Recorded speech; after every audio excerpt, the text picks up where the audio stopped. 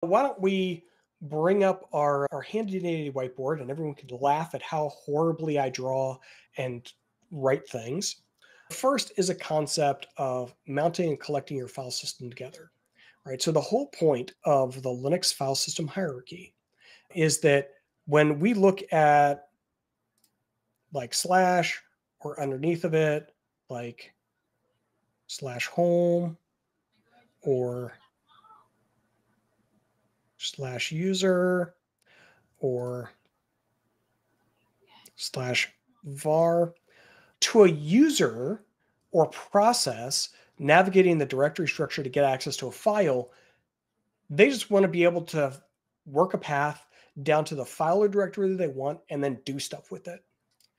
In reality, as administrators, we know that this directory structure is actually built out of component devices. So it might be that var here is actually stored on a disk that's dev SDB4.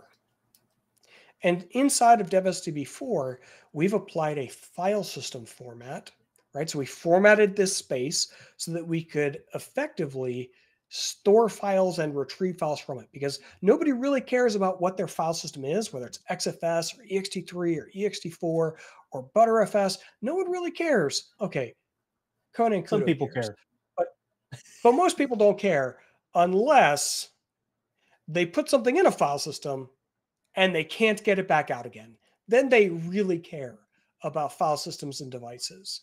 All right. We're not going to go into all the different file systems and the benefits of choosing one over another.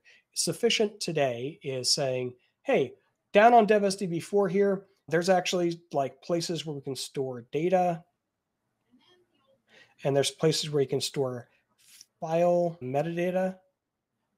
And there was probably more data down in here.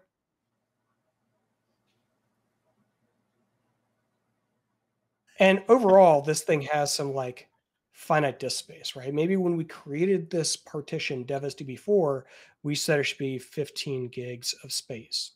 So when we put things in var, we're actually using some of that 15 gigs of space. And down inside of that file system format, there's data blocks. We're actually storing the file contents. And then there's a thing called an inode, or for lack of a better word, a file pointer that will track things like it's metadata, right? What data blocks store the actual contents of this file? Give me the addresses of those data blocks. What are the permissions on this file? Who owns this file? What are the SE Linux contexts of this file? All that get, stuff gets stored in the inode, which tracks all the metadata for the file that has been placed in the data blocks of this file system. All right, so just to wrap up on this small bit here, your directory structure is actually a collection of devices, could just be one, but could be many.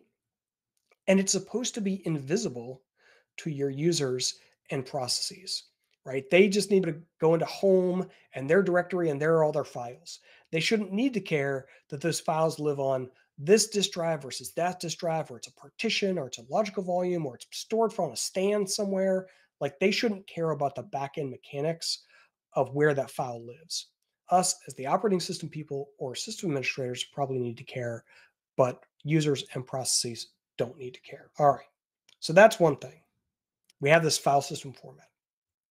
The other thing to think about is if we actually look more closely at what that looks like. Here we are with, with var. And underneath var, we have things like the log directory. And underneath there, we have actual files. And subdirectory. What's another one? And more more stuff underneath of there. If we look at a ls minus i, it'll tell me that inside of this directory var log, maybe messages is inode number this, and the HTTP directory is that, and fail log is.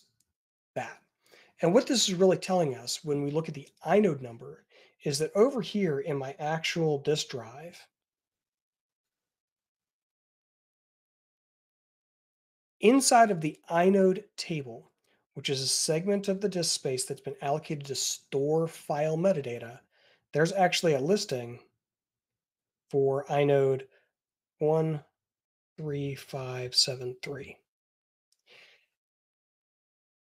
And on this table entry for the varlog messages file, which is inode 13573, we have things like permissions, user owner, and SE Linux contexts, file system ACLs, file attributes that are as, added to this file. Like there's all kinds of stuff here in this, this metadata. And then at the very end, we actually have pointers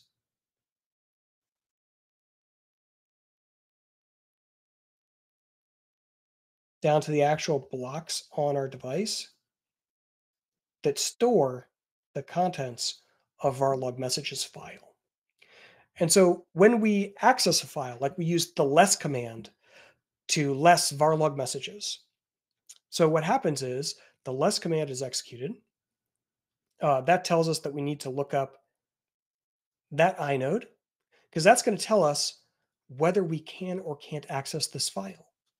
Right, so it comes over here to our inode entry and it looks at that metadata like the permissions. So it looks at who we are and looks at the permissions on the file to decide whether we are or are not allowed to open the file with less command.